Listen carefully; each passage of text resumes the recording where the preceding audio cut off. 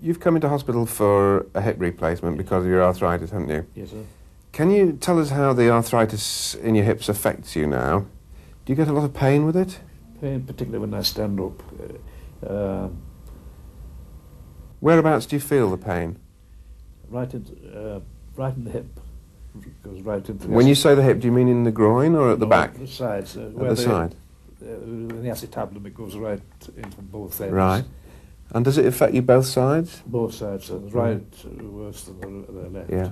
Does the pain keep you awake at night? Only on movement. Only when you move? Yes, sir. When you're walking, I take it you normally walk with two sticks, do Yes, you? How far can you walk with your two sticks before you have to stop? Oh, a few hundred yards, sir. And is it the pain that makes you stop? Yes, sir. You don't It's run out. Exertion, more or less, that makes me stop. With, with, uh, Do you get short of breath? Not uh, only with ex- with movement, yes, sir. When you have to stop walking, is it because you've run out of breath or because your hip is hurting too much? It is uh, hurting. Right. Okay. How about stiffness of the hip? Are you able to get in and out of the bath yourself? With very great difficult. Right. Difficult to rise from a chair? Yes, sir. What about being able to tend to your feet? Can you cut your own toenails, for example? No, sir. No. Can you put your socks on? With difficulty, very great difficulty. Right. Okay, well, let's just demonstrate a few things. Let's see you climbing out of the chair then, Mr. Millard.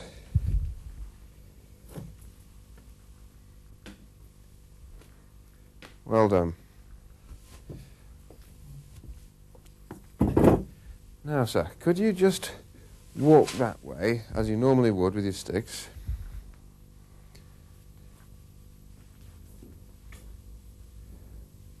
Fine. And can you turn round? Can you walk without your sticks? Let me hold them. Just walk towards me now.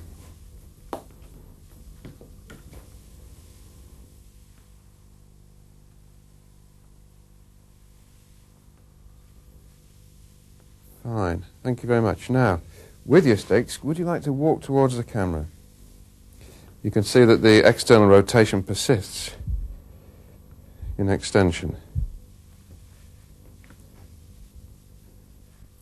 And he moves, his shoulders are moving very much from side to side as he shifts his centre of gravity over each hip in turn. Thank you very much. Turn around and come back to me. Fine. Can you manage to walk towards me without your sticks again?